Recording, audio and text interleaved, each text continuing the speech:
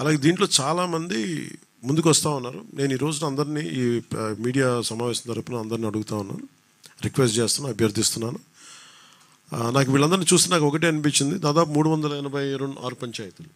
Three eighty six panchayats దెబ్బతిన్నాయి. అలాగే ఇంకొకటి ఏంటంటే ఇప్పుడు చూస్తే మనకి ఈ పరిస్థితులు ఎదుర్కోవడానికి చాలామంది ఏమవుతుంది డైరెక్ట్ పంచాయతీలు మేము ఏదైనా చేయమంటే నాకు ఒకటే అనిపించింది. నాకు నాకు పంచాయతీరాజ్ శాఖ మంత్రిగా కూడా నాకు ఎక్కువ బాధ్యత ఉంది నాకు. సో నాకు నిన్న ఇచ్చిన కోటి రూపాయలు నాకు చూస్తే నాకు ఎట్లా వెళ్ళాలని అనిపించినప్పుడు ప్రత్యేకించి నేను క్షేత్రస్థాయిలో ఈరోజు మాట్లాడి అందరితో మాట్లాడుతున్నా ఒకటే ఒకటే అనిపించింది. ఇంకా ఇంకా చేయాలి దీనికి ఇంకొంచెం నా వంతు సహాయం సరిపోవట్లేదు ఇంకా చేయాలనిపించింది సో నాలుగు వందల దాదాపు నాలుగు వందల పంచాయతీలు అనుకుంటే నేను ఒక్కొక్క పంచాయతీకి వ్యక్తిగతంగా నా తరపు నుంచి ఒక లక్ష రూపాయలు డైరెక్ట్ పంచాయతీకి వెళ్ళేలాగా ఎలాగ ఉండాలి అనేది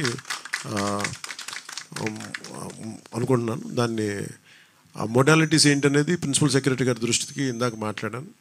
ఇది డైరెక్ట్గా పంచాయతీలకు వెళ్ళాలి మన పదివేల రూపాయలు పాతివేల రూపాయలు ఎలాగా డైరెక్ట్ పంచాయతీ నిధుల్లో పడ్డాయో అలాగే ఈ లక్ష రూపాయలు కూడా ఇది ఎంత సహాయం అవుతుందో తెలియదు కానీ కనీసం ఆ పారిశుద్ధిక పనుల కన్నా పనిచేస్తే ప్రభుత్వం మీద కొంచెం భారం తగ్గుద్ది.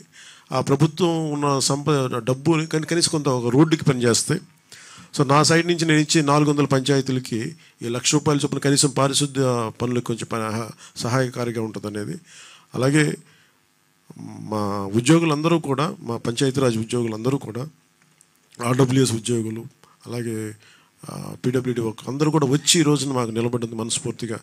ధన్యవాదాలు తెలుపుకుంటూ అలాగే మన తోటి మన పక్క రాష్ట్రం మన సోదర రాష్ట్రం అయిన తెలంగాణకు కూడా నేను కోటి రూపాయలు నిధిని నేను విరాళంగా ప్రకటిస్తున్నాను.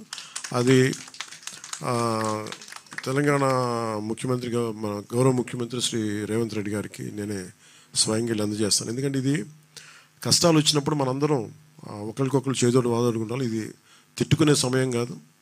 అలాగే వైసీపీ నాయకులు కూడా నా విన్నపం నా విజ్ఞాపన ఏంటంటే మీరు కూడా మీ జేబులోంచి డబ్బులు తీసి మాటలు కాకుండా డబ్బులు కూడా కొంచెం విసిరి సంతోషం. అండి అంటే ఎవరు స్ఫూర్తి చేసినా పర్లేదు సార్. ఆయన ఆయన చేసినా నేను చేసిన అట్లా కాదు. కానీ నా ఉద్దేశం ఏంటంటే ఈ సమయంలో పిచ్చి మాటల కంటే కూడా బాధ్యతతో ఉన్న పనులు చాలా మంచిగా చేస్తాయి నా ఉద్దేశం. అందుకని ధన్యవాదాలు తెలియజేసుకుంటూ ఇలాంటి విపత్తు సమయంలో మీ మీడియా సోదరులు మీడియా మిమ్మల్ని సోదరు సోదరి మిమ్మల్ని అందరికీ కూడా మా సిస్టర్స్కి కూడా ఐమ్ గ్రేట్ఫుల్ టు ఆల్ నిజంగా అంటే మీ క్షేత్రస్థాయిలో మేము ఆ రిపోర్ట్స్ తెప్పించుకుంటున్నామంటే ప్రతి విజువల్ తెప్పించుకుంటున్నామంటే అది మీ అందరి సహాయ సహకారాలు మీ యాజమాన్యాలకి లేదంటే మీ లీడ్ చేసే ఎడిటర్స్కి అందరికీ పేరు పేరున ధన్యవాదాలు తెలుపుకుంటూ